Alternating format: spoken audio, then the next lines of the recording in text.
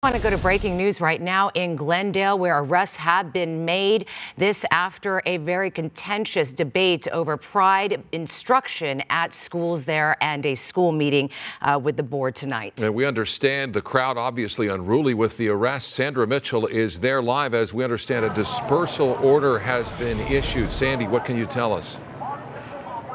Micah, you're exactly right. There has now been violence just outside where the Glendale Unified School Board meeting is happening. Inside, they've been very civilized, but outside, you see this la- large gathering of Glendale police. We are told that at least one arrest has been made. There was a confrontation at Kenwood and Wilson here, just outside the Unified School Board meeting. Police coming over a loudspeaker, ordering the crowd to disperse, saying that this is an unlawful assembly and that they will not hesitate to use chemical agents against the crowd. So, again, things are starting to calm down, but you can hear the police shouting those orders in the background. Again, we have two sides here. Uh, a lot of people from the LGBTQ plus community who are here in support of this curriculum that has been in effect in Glendale since 2019. On the other side, we have a lot of people waving American flags saying this should not be introduced to children at a young age.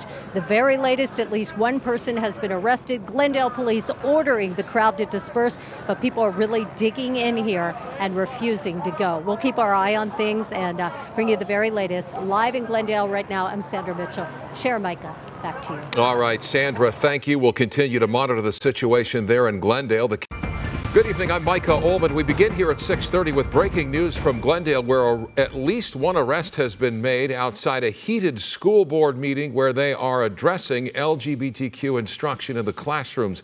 Gil Leyvas over the scene in Sky 5. Gil. Micah, you're looking at the crowd here. This is the 200 block of North Jackson Street in Glendale at the uh, Glendale Unified School District office. You can see as I zoom in here, the Glendale Police Department has put up a barricade, that yellow spiral uh, object there that goes all the way across to the sidewalk, separating the two groups out here. This is all in regards to a school board meeting tonight for the uh, a curriculum that's being voted on for the uh, pride support. I can zoom in here and show you that the two opposition sides have been have been separated by that and also by the uh, law enforcement officials here on the scene here. At this point, like you said, at least one person that has been arrested, but at this point it looks like the police have it uh, somewhat sustained. I'm going to zoom in here and show you some movement here that people are moving away or towards that uh, coiled object there. But uh, again, at this point, it looks like they've uh, restored some of the peace here with that uh, that coiled object that's separating the two groups. But again, a large response by Glendale PD out here, uh, and the CHP also has been notified as, as to what's going on here. But again, you can see the response there. The uh, police helicopter overhead as well, and the uh, many squad units that have showed up here in response to what was happening uh, just a short time ago. That's the latest overhead up in Sky 5. I'll send it back to you in the studio. Now, Gil, we understand a dispersal order was issued a short time ago. Obviously, you see um, several dozen people with no intention of leaving. What's your understanding of the situation uh, as it relates to law enforcement uh, and what they'll tolerate going forward here? Well, at this point, if they've already given that uh, dispersal order, they're not going to they're not going to wait. They're going to ask for these people to leave. If they don't leave, they may use force. They may move in and use, uh, like Sandra was saying earlier in her report, they might use some sort of a chemical, maybe.